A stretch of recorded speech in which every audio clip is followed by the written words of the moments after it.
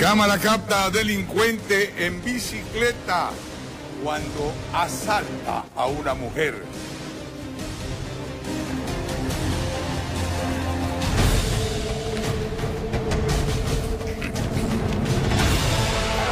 Bingo terminó en agresión a policías.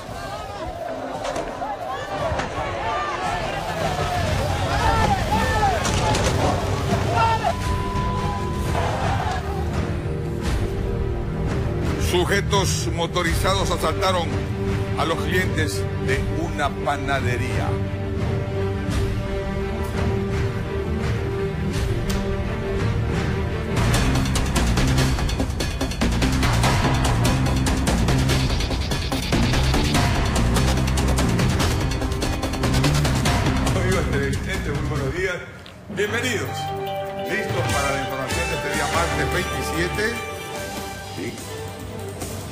27, 8 de la mañana y un minuto en punto. Martes 27 ya viene el mes hueso.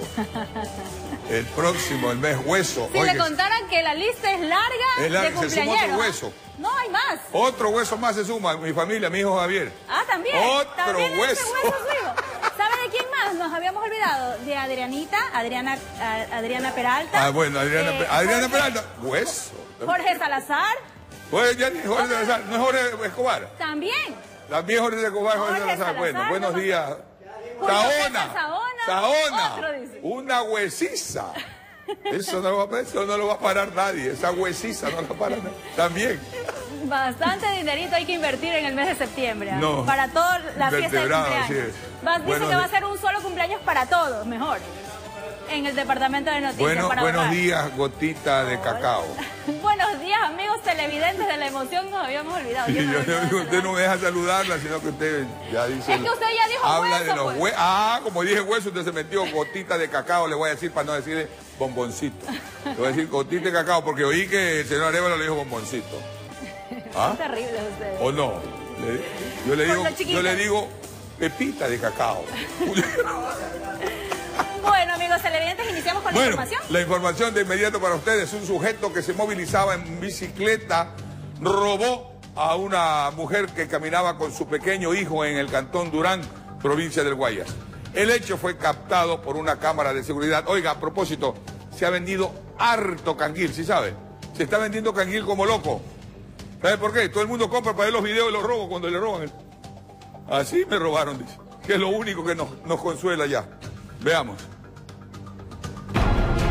La madre de familia camina por la vereda. Está acompañada de su pequeño hijo apenas y salía de retirarlo de la escuela. Enseguida se les acerca un sujeto que se traslada en una bicicleta. Según los vecinos la insultó y le obligó a que se detenga. Así le robó todo lo que llevaba. Incluso le tocó varias partes de su cuerpo frente a su hijo. La mujer aterrorizada no tuvo más opción que dejarse robar. Sí, la chica andaba con su hija. Ah, ahorita aquí los ladrones no respetan ni, ni ancianos, ni nada, ni niños, ni jóvenes, nada. El pillo se fue como si nada hubiera hecho.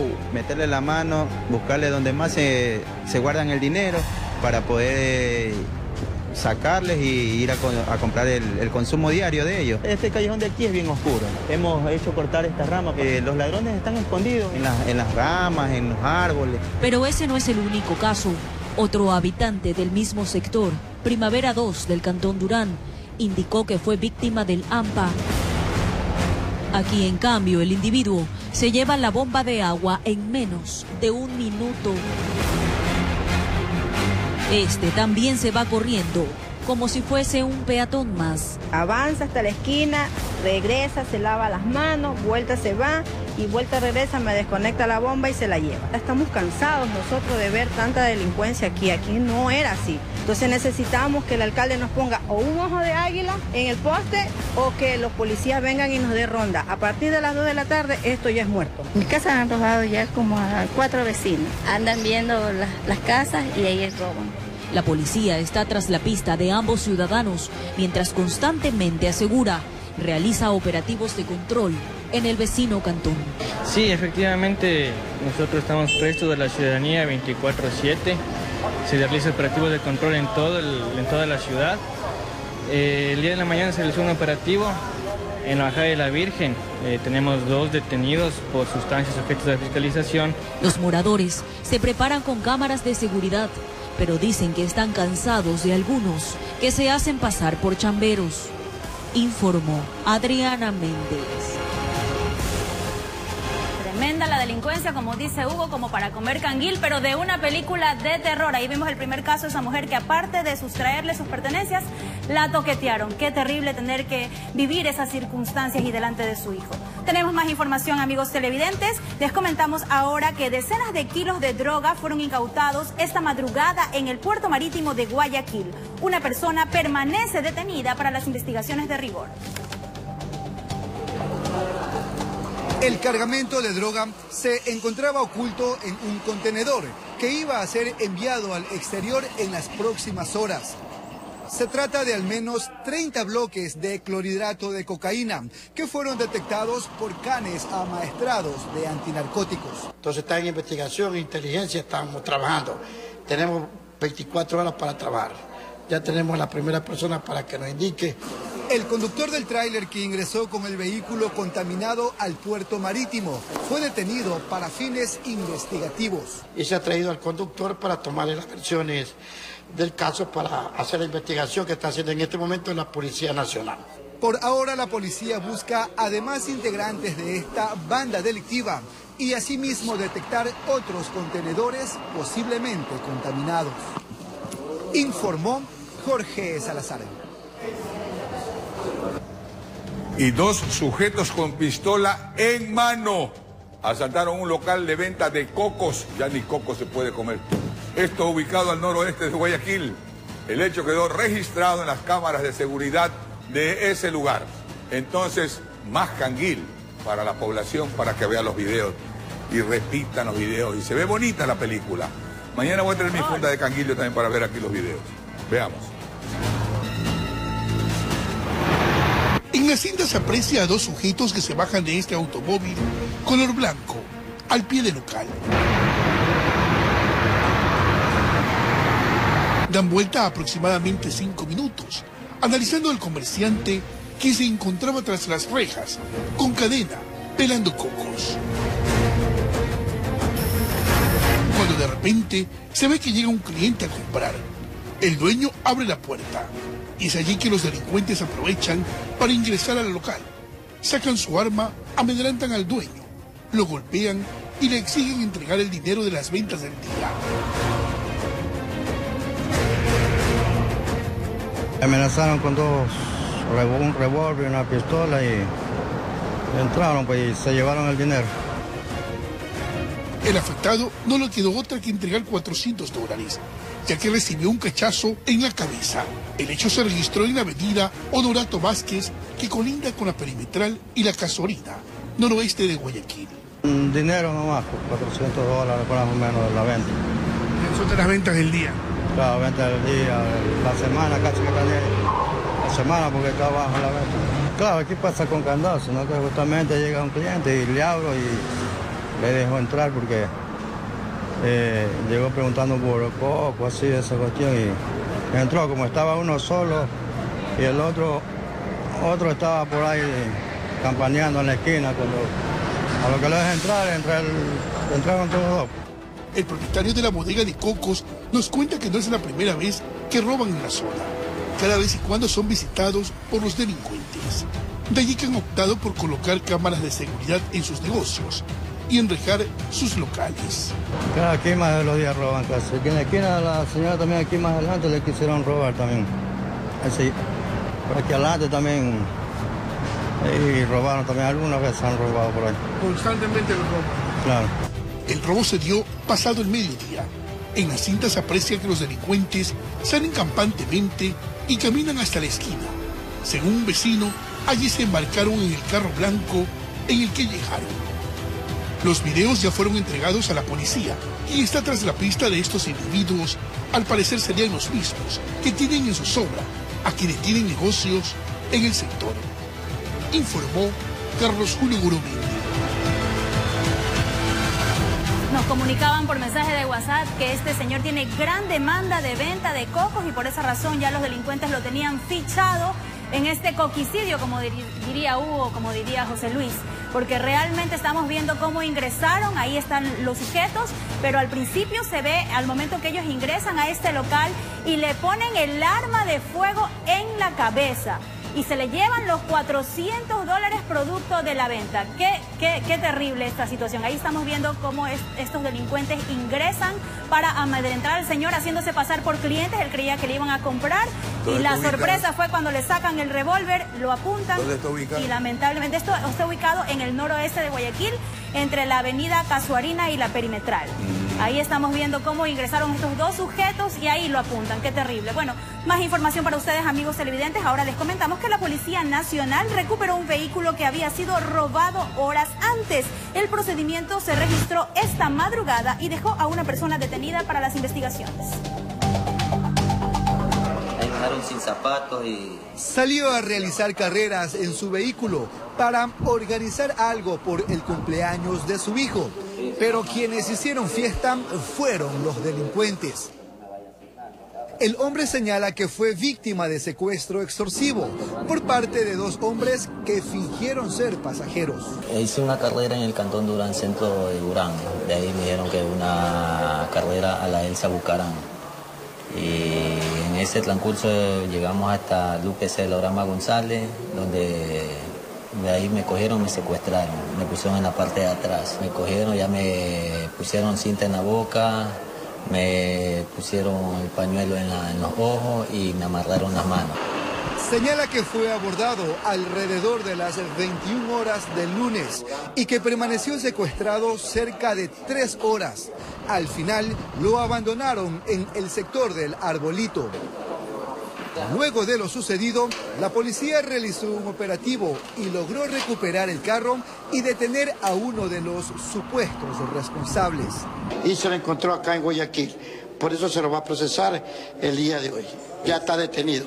Aparte de eso, es el chofer que estaba ahorita, que lo cogieron en el carro, está identificado plenamente que participó en el asalto y robo del vehículo. El presunto delincuente fue localizado gracias al GPS del teléfono celular de la víctima. Informó Jorge Salazar. Bueno, no voy a decir nada del conquicidio hasta que no venga el señor José Luis Arevalo, porque esto hay que ponerlo en la palestra pública para que la gente se entere bien cuál es la situación. Después hablamos del conquicidio. Ahora les voy a relatar este caso. Una banda de antisociales, la mayoría de ellos extranjeros, se dedicaban a robar bajo engaños a personas como Hugo Gavilanes de la tercera edad. Ellos actuaban afuera de los centros comerciales en Guayaquil. Vean ustedes, al sur de la ciudad. Veamos. La banda estaría conformada por tres peruanos y un ecuatoriano, que según las víctimas de la tercera edad las engañaban para robarles. Me dice, señora, dice, quiero que me vea este papelito, dice. Cuando ella llamó a ese otro señor. Ay, dice, déjame. Y ahí presentó. Ay, dice, no, esa pobre mujer con ese loto de la lotería. No, dice, pobre señora analfabeta, dice, que no sabe leer, no sabe escribir, dice, y aquí la pueden estafar. Y entonces me hicieron caminar. Y que usted tiene, tiene plata, todas esas cosas me preguntaban. Yo tengo mi ahorrito, mi libreta, y pan me embaracaron. Iba tonta, Al parecer el papel tenía escopolamina y así le robaron 3 mil dólares. Llévela, dice, al banco. Yo me acerco a la ventanilla y me dieron la plata. Cuando de nuevo se me acercaron, me Dame lo que llevas. Según las investigaciones, la banda operaba afuera de los centros comerciales del sur de Guayaquil. Los perfiles que ellos buscaban eran personas adultas, es decir, mujeres de la tercera edad, jubiladas, la misma que al momento que estas personas pues transitaban o se encontraban solas, eran abordadas por una mujer que era miembro de esta banda delincuencial, la misma que se acercaba con una especie de una hoja, de un papel en la cual indicaba que ella era analfabeta y que no sabía leer y que en ese momento le requería que eh, dónde quedaba tal dirección. Es en ese momento que ella perdía el conocimiento eh, involuntario, pues, la víctima, y en este momento es abordado por otro ciudadano, peruano también, el mismo que es abordado, y proceden pues a embaucar a la señora, a preguntarle ciertas, si tenía eh, cuentas bancarias, si tenían tarjeta, si tenía dinero, En la audiencia de procedimiento directo hubo sentencia condenatoria. La ciudadana fue sentenciada a tres años y también otro ciudadano de la nacionalidad peruana sentenciado a tres años. El que conducía el vehículo y otra persona que hacía también de campanero, ellos fueron ratificados el estado de inocencia el día de hoy. Sin embargo, como fiscalía vamos a presentar la apelación en el momento que notifique formalmente la sentencia. La fiscalía hace un llamado a la ciudadanía para que esté atenta. Jamás se ganó la lotería esta persona que hoy ha sido sentenciada. Por favor, eh, tengan mucho cuidado de esta modalidad en todos los centros comerciales, más, más que todas las personas de la tercera edad, por cuanto se dedican pues a buscar perfiles mujeres de la tercera edad con la finalidad de sustraer su pertenencia utilizando el engaño y utilizando ciertas sustancias que hacen perder el conocimiento. Informó Roselena Vascones.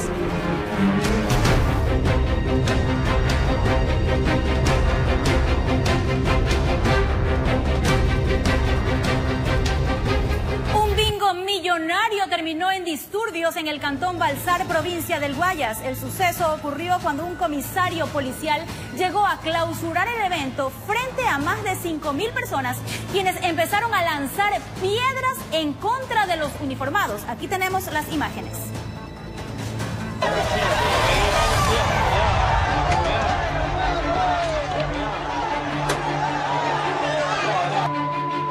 Lo que prometía ser una lluvia de premios se convirtió en una lluvia de piedras.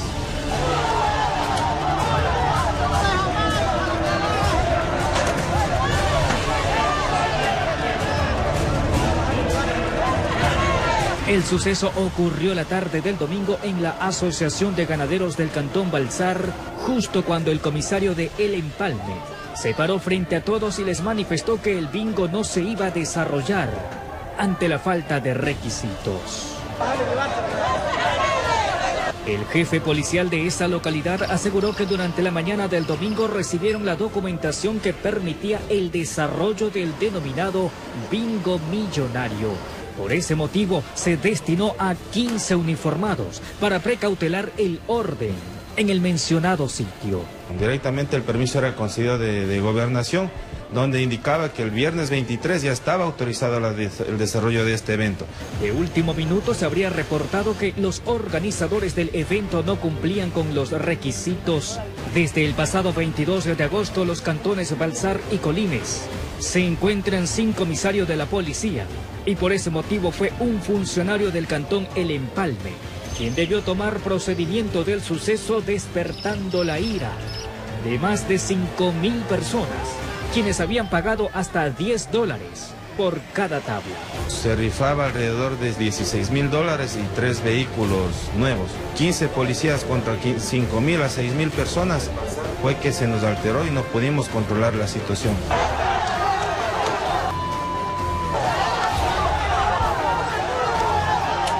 Las imágenes muestran a los miembros policiales exponiendo sus cuerpos para mantener la integridad del comisario, personaje a quien debieron colocarle un casco de protección y sacarlo al interior de un patrullero.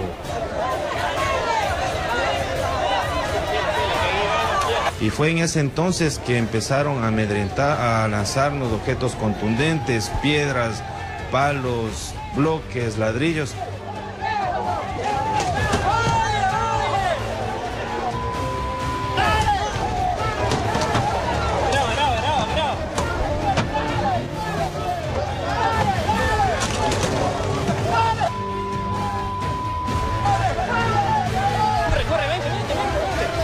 Así quedó el vehículo de la Policía Nacional acantonada en Balsar. Varios uniformados resultaron golpeados, pero uno de ellos recibió el impacto de un ladrillo en su cabeza. Sargento segundo pertenece al grupo motorizado de aquí del distrito Balsar, el mismo que tiene una contusión leve en su cabeza y en su rodilla derecha, y le dieron tres días de descanso médico. Tras estos acontecimientos, la Fiscalía del Cantón Balsar actuó de oficio y ahora se buscará a los principales responsables de este acontecimiento. Los organizadores de este evento no, no se acercaron para dar una solución o comunicar si iban a hacer la devolución del dinero.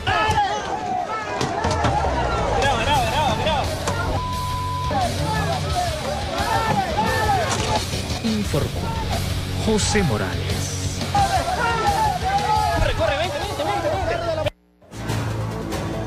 Lo primero, ¿Quién dio el permiso y la autorización para ese evento.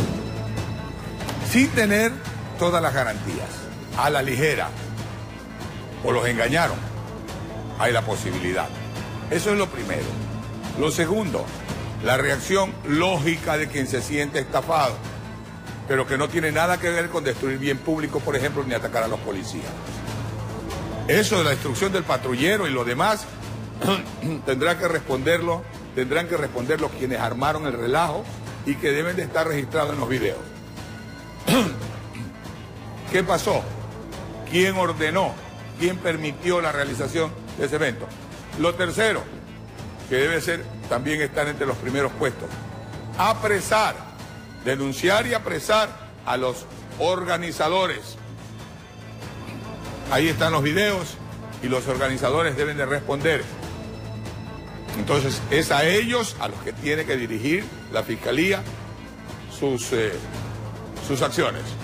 Pero lo primero, para mí lo primero, primero, es quién ordenó o quién permitió, quién dio el permiso para que se realice ese evento si no habían los sustentos suficientes. A última hora que no estaban cumpliendo con lo prometido. ¿Y qué garantías había? ¿Con qué garantías se dan esos permisos? Sino que viene Juanito de las Mercedes, Guamacás, Canayuyo, tírate al agua que yo te saco. Y le dice, deme un permiso para hacer un bingo. Y ya, vaya nomás. ¿Qué más quiere hacer? ¿Cuánto va a cobrar? Ya vaya, vaya. Vaya nomás. Sin saber si el señor tiene las garantías suficientes, si tiene es una persona moralmente apta, si es una persona que preste las garantías. Habrá que hablar primero con los organizadores, insisto, denunciarlos y detenerlos. Detener también a quienes hicieron el daño al, bien público, que es el patrullero, los que eh, golpearon a los agentes. Y de ahí, pues, a quién dio el permiso, cómo así le dieron el permiso. Dice que de la gobernación. ¿Quién fue? ¿Quién fue? Eso debe saberse. ¿Quién fue? Bueno, vamos con más información para ustedes. Roban a, clientes de una panadería que está ubicada en la ciudad de La Urdesa, al norte de Guayaquil. La fiscalía, la policía, perdón, busca a los implicados en el asalto, quienes se movilizaban en moto, otra fundita de canguil.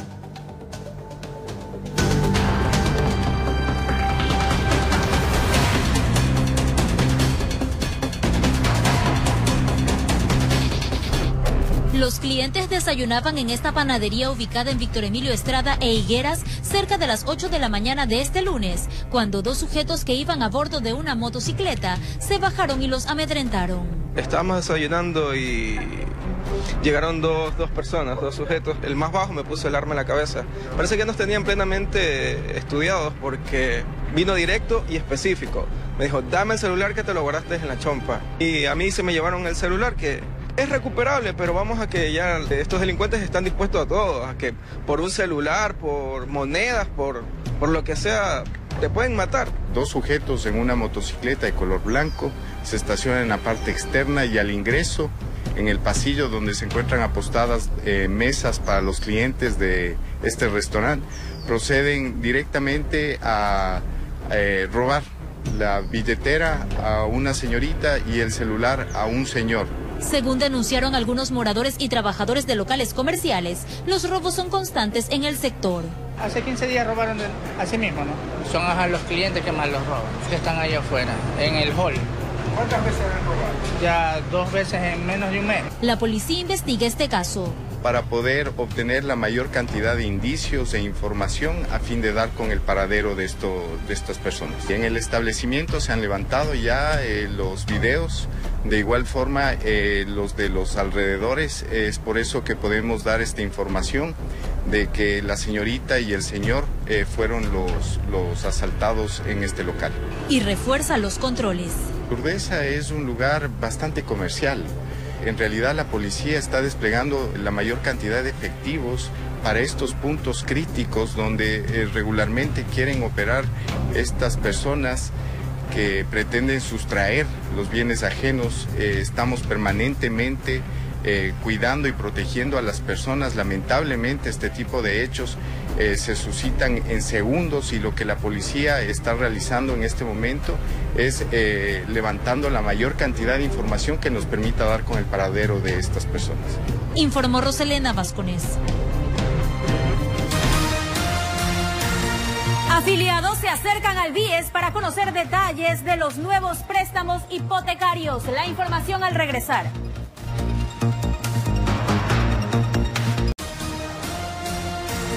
Afiliados se acercan al BIES para conocer detalles de los nuevos préstamos hipotecarios.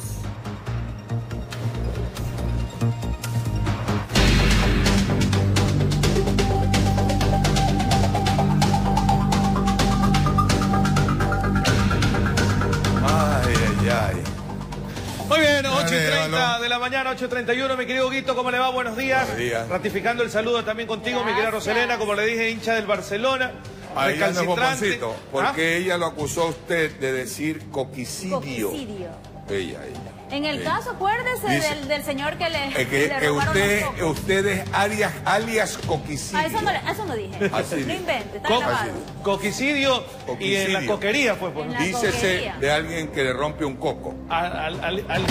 Claro. Lo que le pasó lamentablemente No al que ahora ni en las palmeras. No quedó nada, ¿no? No, pues ni en las palmeras, porque La ahora los bajan todos y los venden. No. Muy bien. ¿Qué? ¿Qué? No le creo, no, ella es gotita de chocolate. Gotitas de chocolate. Sí. ¿Y a usted le gusta el coco, tío, o no? Ya no hay ni en las palmeras. hay. Sí hay. Agüita de coco. Agüita de coco. Eso Ah. sí. ¿Se ha tomado agüita de coco? No me venga que Sí. no ha tomado agüita de coco en su vida. No, yo prefiero el abuela llave. Abuela ya. Ese agüita de coco en su vida. ¿Y usted, Roselena? Me encanta el agua de coco. Ah, sí. ¿Y la claro. carne? También, pero más el agüita de coco. El agüita de coco, ¿no? El agüita, ¿no? mejor. Calma la Porque sed. resbale la, la carne, claro que a veces está duro el coco. El coco está duro y hay que partirlo Sí, para claro. poder eh, Comerse precisamente degustar de ese bien. El problema es que encuentre el coco. Sí hay, sí hay, sí hay. Sí hay. Sí hay, sí hay. sí No. hay, sí hay. Muy bien, perfecto. ¿Con cuánto? ¿Con cuánto, productor? 8 y 32 de la mañana es momento de contactarnos con nuestros compañeros. Y aquí está nuestra compañera Adriana Méndez y también Charlie Pisa. Y vamos a saludar primero con Adriana y luego con nuestro compañero Charlie. Adriana, ¿cómo le va? Buenos días. ¿Dónde se encuentra y cuál es la información que nos tiene? ¿Qué tal José Luis? Amigos televidentes, muy buenos días. Estamos en José de Antepara y Padre Solano. Aquí un operativo de control de parte de la Autoridad de Tránsito Municipal se desarrolla con algunas novedades. Más adelante les presentaremos los detalles. De acuerdo, el saludo también eh, correspondiente para Charlie. ¿Cómo le va? Buen día.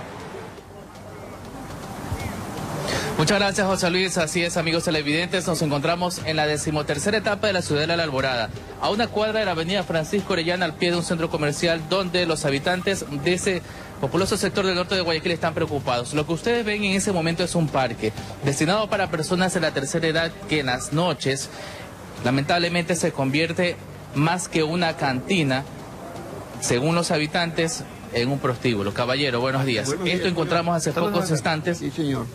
Esto, esto es de- a diario, esto de aquí, a diario. Nosotros no, no podemos descansar, somos gente que venimos a descansar cuando venimos a nuestro trabajo, o merecemos respeto y consideración. Pero este parque se ha convertido, señor, de la noche a la mañana hace más de un año, en un circo, eh, ¿cómo es? En, un- en una, una llegada donde llegan todos los bandidos aquí a fastidiar, a hacer de todo. Y hasta en Villa Cariño se ha convertido. ¿Sabes lo que es Villa Cariño? ¿Qué es? En Argentina hay un parque exclusivo donde todo el mundo puede entrar con su coche a, a hacer- el amor. Y lo estamos rodando en este momento. Hay unos videos de una licorera que hay aquí atrás. Son las personas que se ponen a libar en avenida Francisco Oriana y vienen a terminar haciendo todo tipo de necesidades aquí. De acuerdo, señor. No solamente un- una licorera.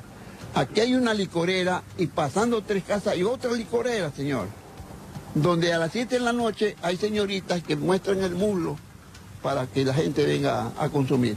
Ah, las señoritas extranjeras que decía nuestro compañero Hugo Gavilanes. Correcto. Señor Gavilanes ya tiene la policía, porque no es la primera vez que nosotros hacemos esta denuncia. Caballero, ¿qué podemos...? Que, miren, en cinco minutos que hicimos un recorrido, ¿qué nomás encontramos por aquí? Bueno, aquí hay un sinnúmero de cosas que son de los drogadictos. Son jeringuillas son este, pipas.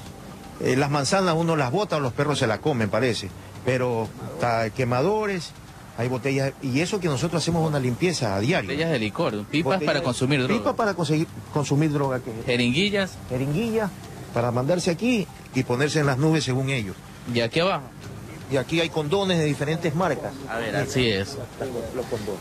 No son fundas de bolos, por si acaso. Son preservativos. Y están, vean, calientitos, mire, mire cómo están. Esto es una porquería. Aquí se ponen, o si no se van en la parte de allá atrás, en ese árbol, y ahí se, se, se mandan sus cosas su- y salen drogados. Entonces, ¿qué ¿Han hablado con ellos? ¿Le han pedido que se retiren, que salgan del barrio? Bueno, se les ha dicho por varias ocasiones, pero se van y regresan. No es que este parque no hay nadie quien diga nada. ¿De dónde son ellos? ¿Dónde se concentran primero? ¿Qué hacen antes de estar aquí? Vienen directamente acá porque definitivamente aquí está, este parque está votado. Y hemos pedido a la alcaldía que por favor que, que cojan y cierren este parque. ¿Qué pasa con las licoreras afuera? Hay unos videos ya que están circulando en redes sociales, personas que iban en la vía pública, en la vereda, en la calle. Hay una señora eh, con una enfermedad también catastrófica. Hay un niño recién nacido aquí. Exactamente, lo que pasa es que no ahí se ponen a libar y eso es un escándalo de la vía pública y eso no se puede hacer eso. Por lo tanto, solicitamos que que, la, que se vayan a tomar, no, no nos oponemos a que tomen o a que vendan su cerveza, pero que cojan y manden a otro lado a tomar. ¿Qué les parecería si uno estuviera en la casa de ellos haciendo bulla? ¿Qué haría? Claro. Aquí nos encontramos ahí un funcionario municipal de el- la Dirección de Justicia y Vigilancia. Se ha acercado en ese momento también, delegado por el abogado Javier Narváez. Caballero, buenos días. Ustedes ya conocen de esta novedad. ¿Qué van a hacer ahora como municipio de Guayaquil? Eh, acogiendo la denuncia de la ciudadanía, eh, se va a proceder en derecho. Eh, me indica que tienen permisos de funcionamiento. Se va a verificar eso, pero el permiso les da es para el expendio de bebidas para llevar como licorera, más no para el consumo en los exteriores y mucho peor, causar problemas, ruido, bulla, escándalos o direccionarse a, a sitios cercanos para causar estas molestias a los ciudadanos. Ya, pero por ejemplo, ellos estacionan los vehículos aquí con eh, parlantes eh, en alto volumen. Alto volumen, todo eso. Sí, no pueden, es- eso es prohibido, es prohibido. Ellos no pueden generar escándalos en la vía pública. Sanción, la primera llamada de atención, ¿qué va a pasar? Eh, verificando el tema, eh, viendo los videos que ya han presentado, se va a proceder en derecho a la clausura. Eh, irán a firmar un acta de compromiso posterior a los días de clausura que establece la ordenanza. Firmarán el acta de compromiso para que ya no realicen estas, estas cuestiones, estos problemas aquí en la calle. Caso contrario. Caso contrario, donde ellos incumplan el acta de compromiso, eh, se procederá a la clausura nuevamente definitiva y la cancelación de su permiso. La Caballero, ¿Cómo toma esta medida usted, este anuncio de parte del municipio de Guayaquil? Excelente, por medio de aquí el caballero y por medio el, eh, con el con el señor este Javier, Nar- Javier Narváez, que ha sido una persona muy enérgica, siempre apoyando a la comunidad. Por favor, queremos que esto se termine, porque nosotros no podemos dormir tranquilos con nuestra familia, porque tenemos que salir a las 3, 4 de la madrugada a decirles, por favor, bajen el volumen. No, si quieren vender, no, no, no nos oponemos a que vendan su, su producto, pero por favor, véndanlo y que se vayan a otro lado. Cuando ustedes les piden que se retiren con sus vehículos y los parlantes. Eh, más suben el volumen, se ponen molestos, entonces evitar cualquier, eh, cualquier problema que uno vaya a tener con estas personas. Muchas gracias, caballero. Como escucharon, o se organizan o respetan la, or- la ordenanza municipal o no hay más permiso. Nosotros vamos a continuar en este sector del norte de Guayaquil, Avenida Francisco de Orellana, donde hay otro local más adelante que van a realizar otra inspección y vamos a conversar con los moradores, además de la queja del parque, lo que ocurre allá, lo que dejan abandonado, lo que realizan las personas que llegan, además de otros sectores de la ciudad, a esos juegos destinados para las personas de la tercera edad y lo que encontramos como también lo que ocurre aquí frente a estos locales de venta de licores. Compañeros, muy buenos días. Charlie, más de una vez lo he dicho. Ahí ese lugar se trasladó el barrio de Tolerancia que antes quedaba en la 18 Gómez Rendón. Una parte de ese barrio de Tolerancia se ha trasladado ahí. Hacen lo que les da la gana y hágame el favor de decirle al señor delegado del municipio que la vez pasada que eh, clausuraron o quien clausuró quedó una puerta café, que tú la vas a ver, hay una puerta café, una pequeña, por ahí le vendían. O sea, les vieron la cara de tontos les vieron la cara de tontos en esa licorera. Y más adelante, más adelante, si vas hacia el norte, están abriendo otra, otra licorera para hacer exactamente lo mismo. Ya lo dijo el señor. ¿Qué les parecería si fuéramos nosotros los que les hacemos bullas en su casa y los que nos les orinamos en la puerta de su casa? Ese señor es reincidente. Quienes están ahí en esos negocios son reincidentes en lo mismo y lo mismo y lo mismo. Entonces ahora les van a clausurar y después de dos, tres meses, cuatro meses más, lo mismo y lo mismo. Y además, pregúntenle al señor delegado municipal si es permitido que unas señoritas que dicen que son venezolanas, que andan con falditas cortas, salgan a parar el tráfico. Ahí está el video, vea, ahí está. Los propios moradores mandan los videos. A ver, déme, déme audio, señor productor, déme audio, tenga la bondad. No, no, no, póngalo mejor allá. El audio, sí. A ver.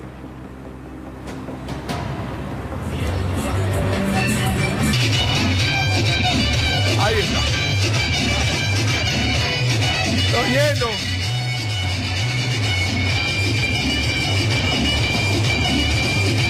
Y si van con esa bulla a tu casa, a la casa de los que hacen la bulla, y está la mamá durmiendo, los hijos durmiendo, la esposa si la tienen, o la familia durmiendo, ¿les gustaría?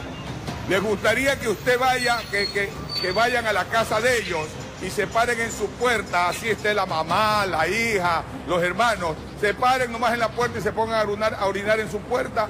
¿O le gustaría usted abrir su puerta y encontrarse con la pestilencia de, de estos borrachos?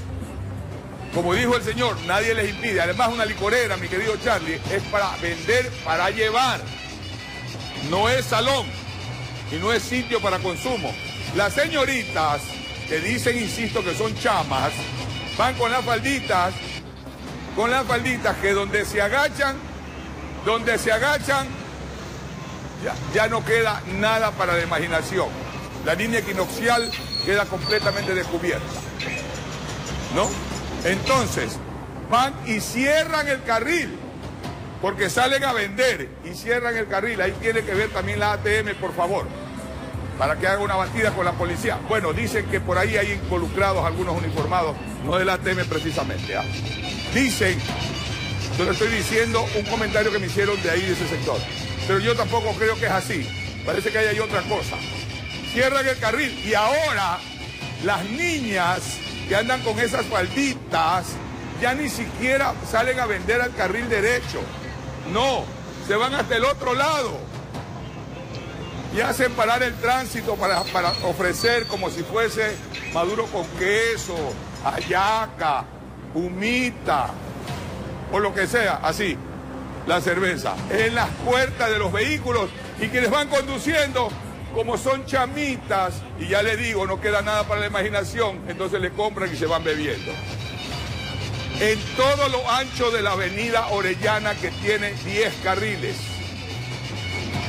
Y también por el lado de la avenida Vaquerizo Sur, que tiene 6 carriles. Entonces eso tienen, eso tienen que, ¿sabe qué? Eso es un cáncer y hay que extirparlo es la única manera de cortarlo, extirparlo. Ahí está la queja de los moradores y los videos no son hechos por nosotros, son los moradores los que nos han mandado eso. Así que en su próxima salida te ruego, mi querido eh, Charlie, le hagas conocer el asunto de la puerta cafecita que la dejan abierta porque parece que es vivienda y por ahí venden. Y más adelante están haciendo la otra licorera, entre comillas, con más chamas ahí para el asunto de la, del barrio de tolerancia que ahí lo dañaron. Esa gente que vive ahí no tiene por qué sufrir las consecuencias de que esta gente le traslade el barrio de tolerancia ahí. Tenemos que irnos, tenemos que irnos al corte. Volvemos enseguida. Charlie, volveremos a hablar contigo más adelante. La noticia en la comunidad. En la mañana. La noticia en la comunidad. Nos renovamos. Afiliados se acercan al BIES para conocer detalles de los nuevos préstamos hipotecarios.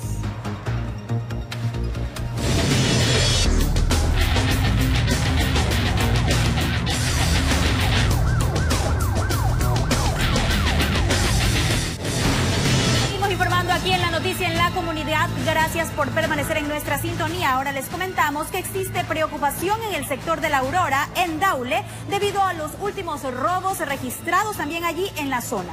Por su parte, la Policía Nacional y la Fiscalía se encuentran tras la pista de los responsables de estos delitos y las investigaciones de rigor. Los asaltos a personas y robos de accesorios vehiculares mantienen intranquilos a los habitantes de la parroquia La Aurora, en el cantón Daule, provincia de Guayas. En la casa roban bastante. Si usted está con el teléfono afuera, pasa una moto, pa, lo- lo- le ponen el revólver y le roban. ¿Qué se llevan de los vehículos? eh, espejos, antenas, o sacan las llantas, la radio, ¿Tiene algo dentro del vehículo? También le, rompen el vidrio. Entre los afectados por esta serie de delitos figura un conocido cantautor ecuatoriano. Al artista le abrieron el carro mientras se encontraba en un comedor. Fue eh, roto sus parabrisas, su, en este caso las ventanas, y se sustrajeron varios implementos personales, computadoras, tarjetas, billeteras y cosas de valor. Según la Fiscalía, se trata de una organización delictiva que está operando tanto en la Aurora como en el sector de la Puntilla, en San Borondón. Este último sector se detuvo a uno de los supuestos integrantes de la banda. Está siendo investigado no solo por este delito, sino por más delitos.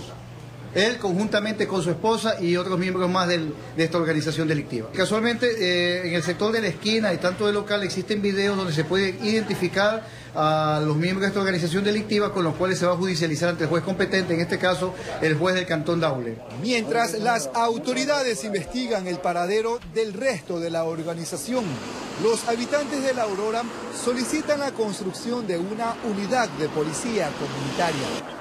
Informó Jorge Salazar. Muy bien, seguimos informando para contarles que continúan los robos a locales comerciales en el Cantón Quevedo, provincia de Los Ríos. En los últimos días, varios establecimientos han sido blancos de la delincuencia. Sujetos armados amedrentaron a empleados y usuarios se llevaron cuanto pudieron. Veamos.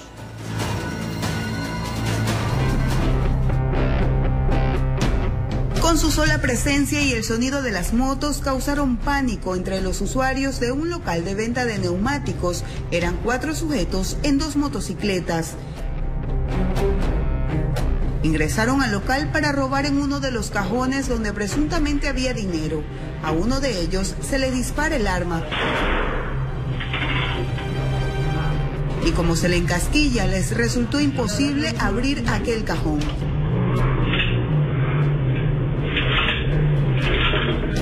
Emprendieron la huida y ahora son buscados por la policía, que también está tras la pista de los sujetos que armados llegaron a un local ubicado en el centro de Quevedo. Lograron llevarse siete laptops, dos tablets, dos teléfonos celulares y 1.342 dólares en efectivo. Los videos son claves para la investigación que está en marcha. Desde Los Ríos informó Odette Camacho. Tomando atención, un vehículo se incendió en la avenida 25 de julio a la altura de los bloques de la ciudadela Las Acacias, al sur de Guayaquil.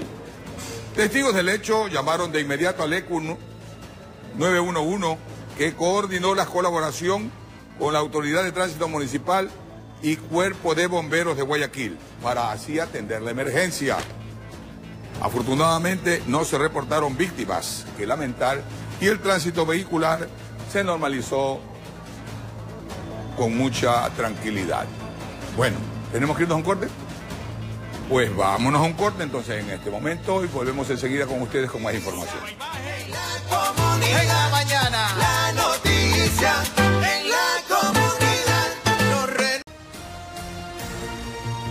Afiliados se acercan al BIES para conocer detalles de los nuevos préstamos hipotecarios.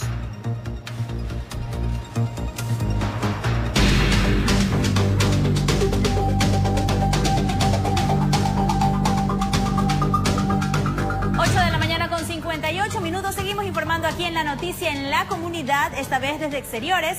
Vamos a saludar a nuestros compañeros que ya están listos para seguir informando en vivo y en directo de diferentes puntos de la ciudad. Saludamos en este momento a Jorge Salazar y también a Adrianita Méndez para que nos den detalles. Primero saludamos a Jorge y luego nos quedamos con Adriana. Jorge, ¿dónde te encuentras? ¿Alguna campaña por parte del Ministerio de Salud? Buenos días. Así es, ¿qué tal? Eh, Roselena y amigos, muy buen día. Efectivamente, hace pocos días falleció un marino a causa del virus H1N1 y en la actualidad existe mucha especulación respecto a esta pandemia. En pocos minutos les estaremos recordando los pasos a seguir si usted llegase a sospechar que porta este virus, pero esto más adelante. Recomendaciones a tomar en cuenta, más adelante nos va a detallar y también cuándo empieza nuevamente la campaña de vacunación contra este virus. Ahora vamos a enlazarnos con Adriana Méndez, ella nos va a decir en qué punto de la urbe se encuentra y cuál es la situación a esta hora de la mañana. ¿Cómo estás Adrianita? ¿Qué tal? ¿Qué tal Roselena, amigos televidentes? Estoy desde José de Antepara y Padre Solano, donde se realiza por la ATM un operativo de control precisamente a los buses. Pero qué interesante también la información que nos tiene Jorge Salazar. Quiero escuchar todas las recomendaciones más adelante. Compañeros, aquí durante la mañana se ha estado revisando a los buses de transporte urbano y precisamente de pronto porque se han presentado algunas irregularidades. La autoridad de tránsito municipal llegó hasta la avenida Padre Vicente Solano y José de Antepara. ¿Qué es lo que ustedes han realizado? ¿Qué es lo que han hecho hasta el momento? ¿Hay alguna novedad? Precisamente nos encontramos con el, el coronel Germánico Mencías y él nos va a comentar un poco más de detalles acerca de este operativo. Buenos días. Muy buenos días.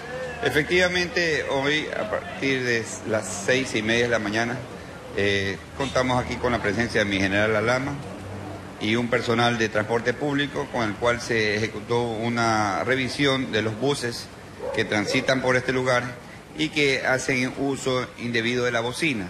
Se retiró alrededor de siete bocinas y se generaron eh, eh, alrededor de 10 citaciones también se confeccionó, se confeccionó por el mismo motivo. Eh, bueno, pues tratando de que los conductores eh, poco a poco se vayan adecuando, vayan entendiendo que no pueden hacer eh, uso indebido del pito porque eso contamina el, el medio, bueno. en todo caso, pues esos fueron los resultados del operativo de hoy en la mañana. Mucha contaminación auditiva en esta intersección y precisamente porque conocemos, pasan los buses que vienen desde Durán, van hasta el vecino cantón. También buses de transporte urbano de aquí de la ciudad de Guayaquil. Y pues esto nos dicen los habitantes que lamentablemente les ha afectado mucho la audición. Nosotros, que permanecemos tan solo unos minutos, nos causa algo de molestia. Afortunadamente nos retiramos ya mismo, pero quienes viven, habitan, tienen sus locales comerciales, son quienes resultan mayormente afectados. También pudimos observar hace, hace un momento que ustedes estaban retirando los adhesivos del parabrisa de los buses. Esto también podría originar accidentes por la falta de visión. Efectivamente, ellos tienen disposición, los, los conductores de los buses tienen la disposición de poner sus, eh, sus adhesivos para poder informar al usuario, pero en la parte superior del vehículo. Y ellos lo ponen en cualquier lugar. Efectivamente, entonces en razón de aquello se retiró alrededor de 100 adhesivos realmente que, de los buses con el objetivo de poder mejorar la visibilidad, el campo visual que tiene que tener el conductor para poderse transitar en, las vías eh, de Guayaquil. En ese sentido, de pronto habrá alguna sanción como un poco para informar a nuestros amigos conductores que, eh, bueno, a diario transitan en estos buses, trabajan, son propietarios, son choferes. ¿Hay sanción para quienes tienen estos adhesivos por doquier? Bueno, por, por supuesto que sí. O sea, el momento que un conductor eh, transita con eh, no cumpliendo con las disposiciones de tránsito, pues lógicamente hay una infracción que va contemplada en, el POI para que poder sancionar a los conductores que están infringiendo la ley. Perfecto, la idea siempre es, para que tengan clara, la idea es que se eviten accidentes de tránsito y también, por supuesto, que no contaminen el ambiente, tanto con el smog como la contaminación auditiva. Ya escuchamos alrededor de 10 citaciones para los conductores que estaban incumpliendo la normativa y utilizaban bocinas no permitidas porque pitan con una sola vez, ya te hacen incluso a veces brincar, compañeros. Padre Solano y José de Antepara, ustedes tienen más en estudio. Muchas gracias, muy amable. Muchas gracias. Muchísimas gracias, Adriana. Ahí está por tu informe a propósito de este reordenamiento de los buses que van y vienen del cantón Durán. Nosotros vamos a seguir informando, señoras y señores, para contarles que asesinan con varios impactos de bala a un hombre, esto en su vivienda, justamente en el cantón Rocafuerte, provincia de Manabí. Veamos a continuación el informe. En el sector solo se escucharon los disparos. De ahí que la policía llegó y divisaron el cuerpo sin vida de una persona de sexo masculino. Varios impactos de bala había recibido. Esto ocurrió en el cantón Rocafuerte, provincia de Manabí. Según lo que explica la autoridad de seguridad, el fallecido con su conviviente habían ingresado a su hogar. Ahí encontró la muerte. Este hecho suscitó en una propiedad privada, un tipo finca, ya que el señor había ingresado con su conviviente, se percata que un individuo de contextura alta, morena, se, se presume que es de nacionalidad colombiana, le comienza a amenazar con un arma de fuego, queriendo robarle todas sus pertenencias. Asimismo, el señor forcejea con el, con el delincuente y le procede a disparar. El cuerpo fue trasladado hasta una morgue para empezar con las investigaciones respectivas y determinar las causas del deceso de esta persona. Según lo que dicen algunos de los testigos, todo ocurrió en cuestión de segundos. Quieren que las autoridades investiguen a profundidad este caso. el día, el día fallecido por tres tiros. Él, él, él- él peleó con, con el man y, y la mujer escuchó los tres tiros. Después no puedo darle más explicaciones porque así porque yo lo tengo. La policía ya está investigando. En los próximos días espera tener resultados de esta muerte violenta. Asimismo se le llevó a la casa de salud, al hospital básico de Rocafuerte, al señor, y, y se, y se bendició que ya se encontraba sin signos vitales. Informó Julio César Saona. Casa de salud luego de ser apuñalado supuestamente por su pareja. El hecho ocurrió en una urbanización en vía a Marianitas, en el norte de Quito. Según la policía, se trataría de un supuesto caso de autodefensa. Bien dicen que el licor no es el mejor amigo, compañero ni vecino, sino más bien en muchos casos es un detonador de violencia. Aparentemente varios extranjeros se reunieron para festejar el fin de semana. Las horas pasaron y al calor de los tragos se habrían producido los primeros problemas entre una pareja de venezolanos. Los celos estarían entre los invitados. Una situación que sucedió en un espacio privado, en donde lamentablemente la labor de la policía no, podría, no, no pudo haberla prevenido. De acuerdo a versión de los testigos, todo estaba bien, el baile, las risas y los abrazos de pronto se vieron empañados por una discusión entre los anfitriones, el hombre de 45 años y la mujer de 43. Supuestamente el occiso maltrataba constantemente a su pareja y esa madrugada no habría sido la excepción. Por las entrevistas con los parientes, con los familiares, de que esta persona agredía frecuentemente, en este caso, a, a su pareja. No existió una alerta, no existió una previa denuncia. La compañera sentimental del difunto, cuando era golpeada, supuestamente alcanzó un cuchillo y en medio de la desesperación le propinó una puñalada a la altura del tórax. Malherido, el hombre quedó tendido sobre la cama, desde donde fue evacuado hasta una casa de salud donde los médicos solo confirmaron su deceso. Todo apunta, en este caso, a que fue una legítima defensa por parte, en este caso, de la, de- de- de la señora. Los vecinos del pasaje indicaron que escucharon gritos pidiendo auxilio, pero que no se atrevieron a salir porque todo pasaba al interior de la vivienda. Solo vieron que en un vehículo fue embarcada una persona. Nunca se imaginaron que la discusión subió de temperatura. No está mal que se tomen un traguito a veces de vez en cuando, pero siempre con la cordura y la responsabilidad. Si tú ya sabes que de pronto no puedes tomar, que de pronto se te vuelve un poco la teja, pues deberías dejarlo. La pareja del occiso de 43 años, también venezolana, cuenta con prisión preventiva por el presunto delito de homicidio, mientras se aclara las circunstancias en las que se dieron los hechos. En Quito informó Iván Casamen.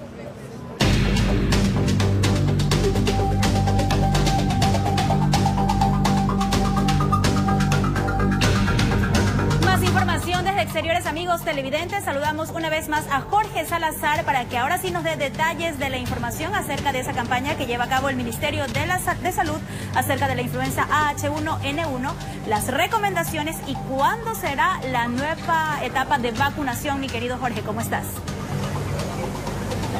Así es, ¿qué tal, Roselena y amigos? Me encuentro en el Centro de Salud Camino al Sol, ubicado en la isla Trinitaria, el suroeste de Guayaquil.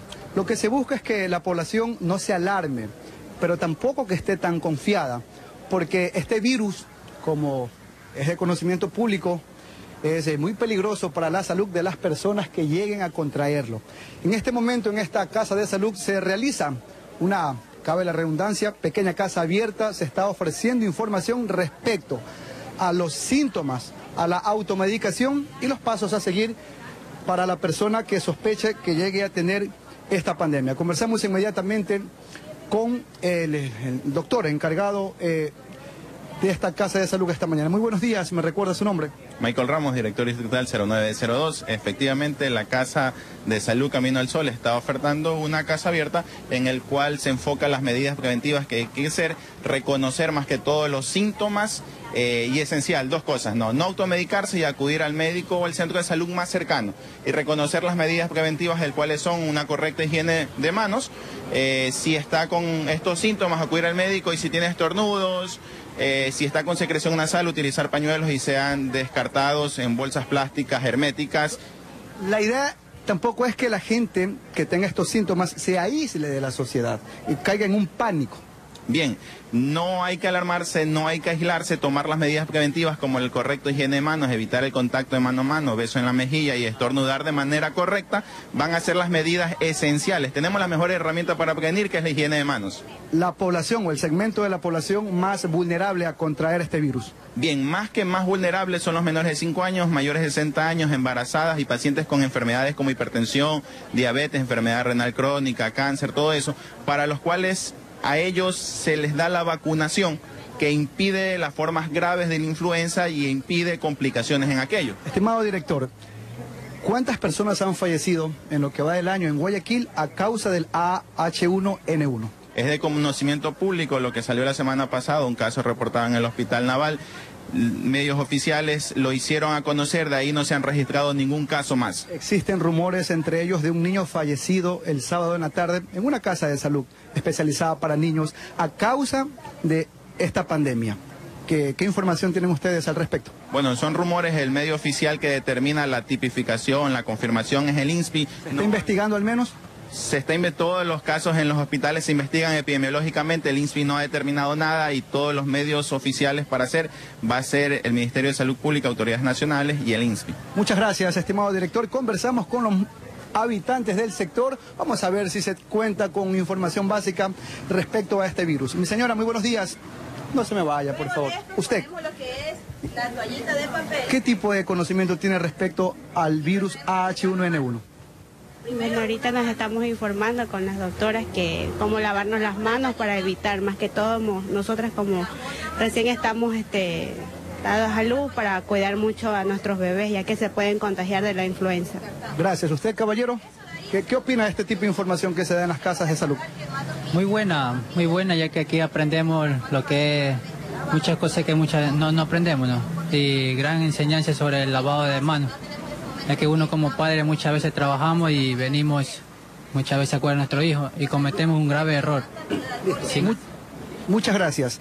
Y ojo, culmino con esto que según datos del Ministerio de Salud Pública, desde el 2012 al 2018 se han reportado 259 fallecimientos por la influenza AH1N1 a nivel nacional. Y únicamente de noviembre de 2018 a mayo del presente año se han registrado 43 casos, así que a tener mucho cuidado, pero tampoco caer en ese pánico, en esa psicosis.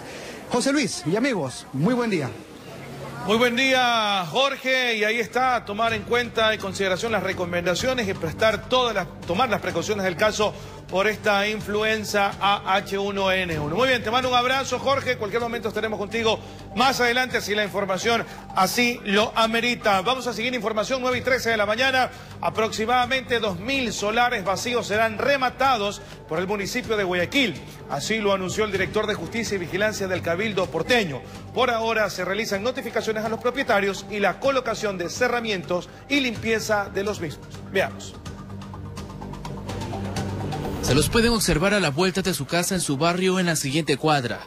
Y como estos en la cooperativa 9 de octubre en el Guasmo Oeste, en el sur de Guayaquil, provocan más que molestias, dolores de cabeza e inseguridad a los vecinos. Sería bueno que cierren todos esos, esos solares porque a veces dan mala presencia en el, en el lugar, pero es a cada rato que entran ahí, se meten, quién sabe, alguien sabe puede repetir a robar y se meten. Aquí esto de noche es bien desolado. Los hacheros se ponen ahí, pero el señor, el dueño de ese solar es el señor de aquí al lado. Él hizo esa pared, luego pues dejó ahí, el- igual se meten, igual se meten. Para esto, la Dirección de Justicia y Vigilancia del Cabildo porteño anunció que los 2.000 predios en la ciudad que se encuentran en las mismas condiciones serán rematados. porque ya no podemos seguir esperando que el propietario del inmueble cuando le dé la gana quiera hacerlo. Esto trae eh, insalubridad, esto trae también este, brotes de delincuencia porque ya están empezando a meterse por los patios vecinos los, los delincuentes. Por ahora, funcionarios municipales los están limpiando y también cercando hasta que se defina la parte legal de estos solares.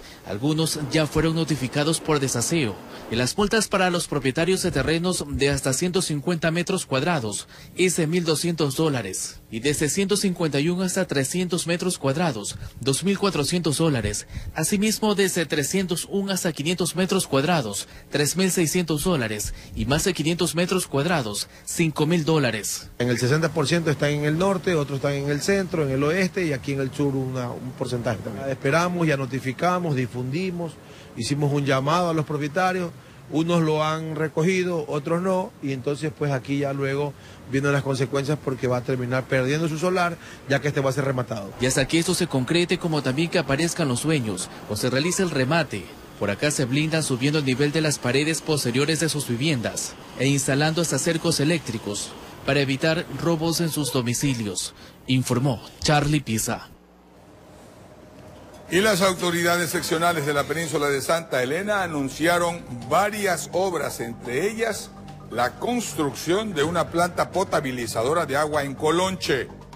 Esta planta beneficiará a la zona norte de la península y además a cerca de 40 mil habitantes de la zona. La obra tiene un costo aproximado de 1.424.000 dólares. Estamos hablando de dos proyectos. El primer proyecto, el que va a resolver el problema de dotar de agua potable a todo el sector norte de Santa Elena, es la planta que se va a construir en San Vicente. Mientras dure la construcción de esta planta, que va a ser la solución definitiva para el sector norte, pensamos en una idea paralela que permite solucionar en menos de tres, cuatro meses el problema de desabastecimiento actual que existe en los lugares en donde Aguapen ya sirve, que son prácticamente las poblaciones que están en Colonche.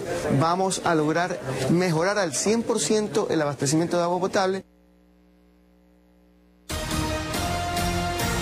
Afiliados se acercan al BIES para conocer detalles de los nuevos préstamos hipotecarios. La información al regresar.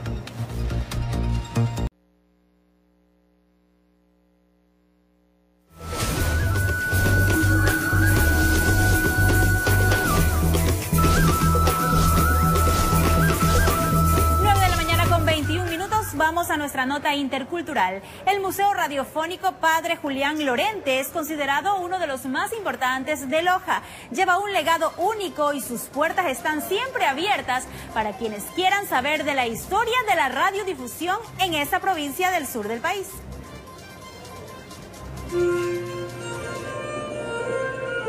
Loja cuenta con un museo radiofónico en donde podemos observar objetos que se utilizaban hace varios años atrás en la radio.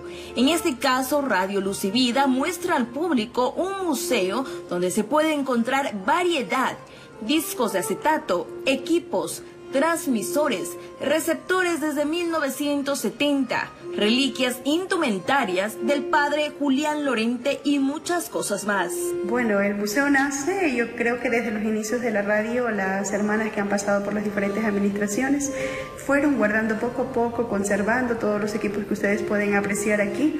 Eh, porque tenemos equipos desde los inicios de la radio del año 1967 eh, hasta la actualidad, pues tenemos una, muy buena cantidad de equipos. El museo, con el nombre de Padre Julián Lorente, sería uno de los primeros museos radiofónicos constituidos en el Ecuador. Este será un espacio para que futuras generaciones puedan conocer la historia radiofónica de la provincia de Loja. Más de 6 mil dólares están invertidos en el mantenimiento de estos equipos, los cuales ya pueden ser visitados por la ciudadanía de Loja y del país. El costo del ingreso es totalmente gratuito. Cada equipo ha marcado su historia. Eh, cuando se recogía la historia de Radio Luz veíamos cuántas personas han pasado por aquí y quienes han venido a mirar este museo, dice, yo trabajaba con ese equipo, eso era lo primero que, que yo utilizaba. Entonces, creo que esta idea nace en ese sentir de rescatar cómo ha ido evolucionando la radiodifusión eh, y sobre todo pues desde la parte tecnológica. En Loja informó Marcela Constante Brito.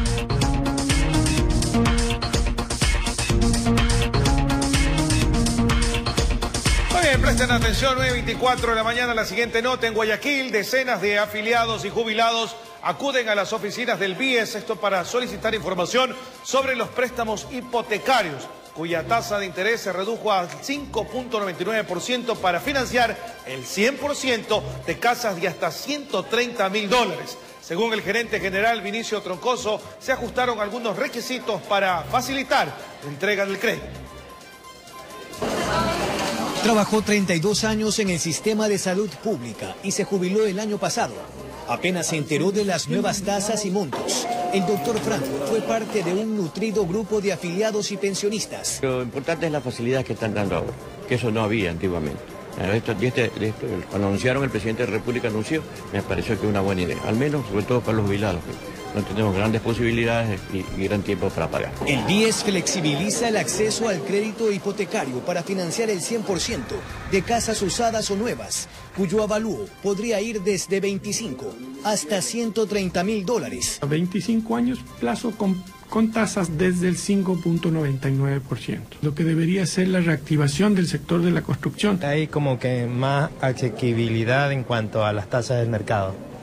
Entonces, por eso es la demanda ahorita de, adquirir una vivienda. Un promedio de 1.200 personas diarias son atendidas en la oficina matriz del BIES, acá en el centro de Guayaquil. De ellas, el 50% viene a preguntar por los préstamos hipotecarios. De hecho, las facilidades no solo están vinculadas a una tasa preferencial y la ampliación de los montos. El afiliado debió haber venido aportando durante 16 periodos consecutivos en el mismo trabajo ese es un parámetro anterior, hoy lo ajustamos a 13. De junio de 2017 a agosto del presente año se entregaron 1.800 millones de dólares. El 30% se consignaron en Guayas.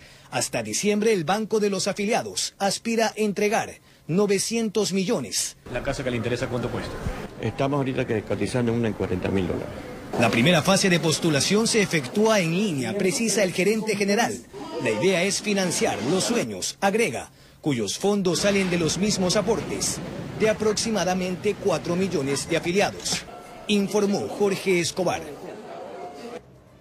En una entrevista para nuestro informativo La Noticia, la alcaldesa de Guayaquil, Cintia Viteri, anunció la adhesión de mujeres a la Policía Metropolitana, así como la creación de la Dirección de la Mujer. Cintia Viteri continúa poniendo en marcha proyectos que se enmarcan dentro de su política social. El programa Amiga ya no estás sola, ahora lo incluye en el plan Más Seguridad. En lo que va del año se han realizado 11 talleres direccionados a aliados estratégicos de la unidad para combatir la violencia contra las mujeres, con 500 beneficiarios. Mientras que dentro de los procesos formativos para niñez y comunidad existen mil beneficiarios. Hay más. Viteri plantea la creación de un cuerpo de agentes metropolitanas quienes serán las que acudan a las viviendas donde registren casos de violencia. donde hay un tipo de conflicto in- intrafamiliar o violencia intrafamiliar, porque la mujer se identifica con la mujer y sé que se le será más fácil decirle lo que, les lo que le está pasando en ese momento. Además, el municipio tendrá la primera dirección de la mujer, que según la alcaldesa Cintia Viteri estará operativa dentro de aproximadamente tres semanas. Esta dirección estará a cargo de Vivian Almeida. Va a abarcar desde nuestras jóvenes adolescentes embarazadas para que terminen sus estudios y buscarlas el, el mercado laboral hasta nuestras ancianas y nuestras niñas. Almeida se desempeñó como gerente en Guayas de la ONG Plan Internacional, que trabaja desde 1963 para promover y defender los derechos de los infantes e igualdad para las niñas. involucrada toda su vida en temas de la mujer y en temas de grupos vulnerables, toda su vida y con conexiones internacionales para poder tener cooperación en este aspecto en Guayaquil. Informó Adriana Peralta. Amigos televidentes, son las 9 de la mañana con 28 minutos. Venga, señor, venga. ¿Qué le pasó a Huguito? Huguito, ¿Ah? venga. Pero venga un ratito. Venga un ratito, que extrañamos acá. Es verdad que ya me tienen cansado. ustedes. Venga, venga, pase, pase, por Ay, favor. bien. Se lo extraña a usted. No, no, no me extrañen, a mí ya me tienen cansado ustedes. Voy a tomar un descanso, dice. Bueno, me tienen cansado con lo mismo y lo mismo. Que, que Roselena explique el tema del coquicidio. ¿De qué? Coquicidio. Si ni siquiera Que conoce los cocos. entraron a, a robar, pues ahí, en eso de los cocos. Ni Yo no siquiera- sé qué ¿alguna ustedes quieren, visto un coco? quieren que, no sé qué quieren dar a entender ustedes con eso, pero yo Como sí que usted ha visto los cocos. Ah, ¿Ha no, en visto? serio, ya usted se deja llevar por el productor. El productor ni habla, yo no tengo, vea, le voy a al productor se le Escuche, al productor, mira, ven, escúcheme, yo no tengo ni apuntador, le voy a demostrar, Ah, vea, ya, ya vea. se lo sacó ahorita, pues. No tengo apuntador, vea. Pero.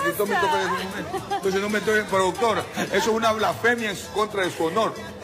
Y puede haber juicio ahí. No ahí sabe todo ahí lo que- repartimos ese billete. No sabe todo lo que está diciendo el productor. mejor no que tengo no lo nada, deje yo estoy desconectado. Mejor. Mejor. Le conviene, le Ya voy a ver para adentro. que sí, dice. Que diga No. que sí a todo. No lo imagines. Bueno, amigos televidentes, se acaba el mes de agosto, que Dios me lo Y viene el mes de los huesos, vea. Una huesiza. Es una chucuzuela que vamos a dar. Dale chucuzuela. Y yo voy a aportar, en mi familia va a aportar con un hueso. Ya. Un huesote. Mi hijo Javier también. está También. Muy bien, entonces. Puro hueso. Bueno. Que Dios los bendiga. Igualmente, amigos, que Dios los bendiga, pasen bien, ¿ah? cuídense. Vaya a ver si cae allá. Sí, si parió, oiga, no no- parió esa chancha. No se olvide que la chachita está gorda. Está gorda esa chancha, lista para que salgan los